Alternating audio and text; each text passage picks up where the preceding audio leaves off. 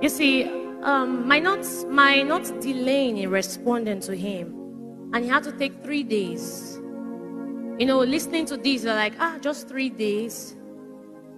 I didn't have to spend time delaying in responding because you see, when you stay on him, you know his voice on time. Many times, some person say, Oh, I'm coming, I'm coming. Two years have gone.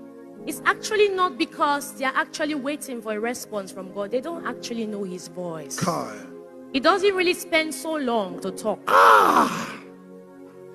You see, you we make mistakes. Many times, my generation makes a lot of mistake when they have to wait on who they want to marry before they begin to hear the voice of God. It doesn't work that way. Have you heard him before you chose the course you had to study in school? Have you heard him? Did you hear him? Do you get to hear him when you have to board a keke to your friend's house and say, Not now, don't go? Hmm. Do you hear him when you have to go for that job appointment? Because this is about directionless. And then he tells you, Don't go because that's not the route. It might pay you big, but that is not where I'm taking you to. So you see, many times we want to get used to a voice we have not gotten used to. We want to get used to a voice when we want something really desperate. And so you think you're hearing a voice, but you're hearing your voice, the voice of emotions, not the voice of the Holy Spirit. Mm. And so you get confused because you see, we want to hear him at the period where hearing him can be difficult. so he, I didn't have to waste time in responding to him because looking at everything physical about him, I would never have said yes to him because, come on. I'm not trying to, I know I'm fine.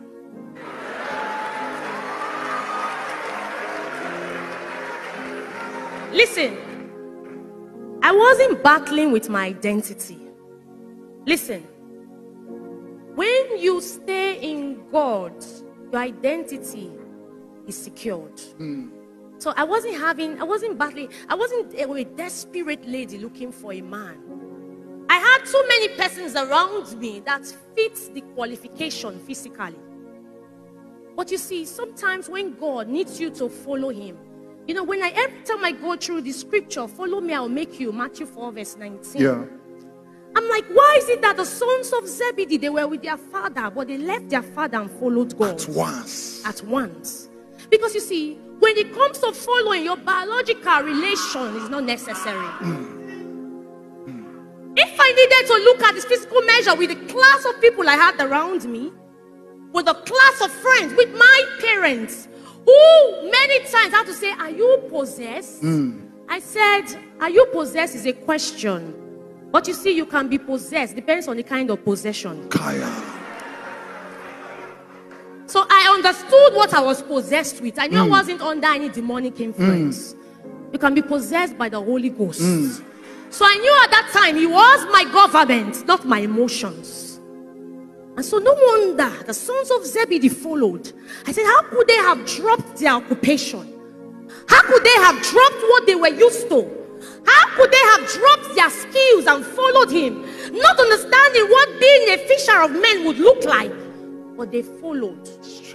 I had dreams when I was single, just like some of you here.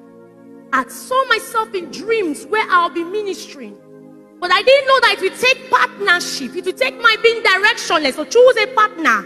Because sometimes the dimensions don't normally come out until there's a partnership. And so saying yes to him was quick because I understood his voice. I knew that he had to be my government to be able to be controlled by him. The Bible says, Psalm 23, verse 1, we recite it all the time. The Lord is my shepherd, I shall not want. But listen, the Lord doesn't just become a shepherd when you are not a sheep. It doesn't. Until we switch from a recitation to a revelation, some scriptures will never be useful. Yes. The Lord is my shepherd. Can I tell you something? It's an is there.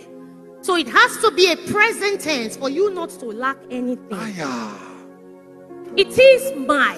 It is not the pulpit revelation, it is a personal one. Kaya. Until it leaves the pulpit where it becomes personal to you, you it can't be useful. Mm. It doesn't make sense. I came from a funny background, and the Lord had to use that scripture to deal with me. He says, Until you come to a point where you become my sheep, can't understand where I will take you to. I've said this thing many, many times. Many years ago, without having to know my husband, there was a pastor who came around to the auditorium where I was, my fellowship. And then he looked, he pointed, and I turned my back. I've said this many times. And then he said, You turning your back. And I looked at him. He said, God said, I should tell you that you'll be a global actress. As how? I hated acting. I was not even in theater art. I never studied theater. I studied biochemistry. Never did I join a drama department. I started acting in marriage. and then God is telling me I'll become a global actress. As how? Hmm. And I didn't know that in becoming his sheep, he would take me through the wilderness. Hmm. He will take me through desert places. He will take me through a process so that there can be an alignment onto partnership with him. Yeah. There are times, sometimes you have struggled with some dimensions you should experience because you are having a direction. Hmm. Until you get directionless, he can't be a shepherd. He can't be my shepherd. He can't be your shepherd. Until you become a sheep, my sheep will hear me. My sheep will listen. My sheep will obey. So it doesn't just end in listening because you can listen and not obey. So it, it takes listening and obeying to become his sheep. Where he has to speak to you and you have to follow. And then they left their occupation, they left what they were used to, they left the familiar. Because familiarity does not command the supernatural realm. So sometimes you have to look, leave what you are used to and walk with him to the new grounds he will take you to. Abraham would have said no. Eh, Because you can't see the end. He can just tell you go. But you can't understand where he's taking. I didn't understand what that prophecy meant sitting in the auditorium. I did not understand what how it looked like. And I did not try to understand it.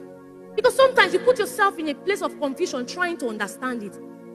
Obedient people are waiters, and obedience does not analyze. People, waiters don't analyze. When he says follow, you are not trying to calculate. You are not trying to say, ah, if I follow this way, you sure? If I follow, you just move, understanding that he's the government. Just like when there's a secular, they say everybody shut down.